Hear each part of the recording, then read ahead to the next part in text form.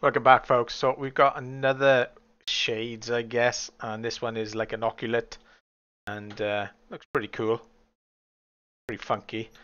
Show you what it is.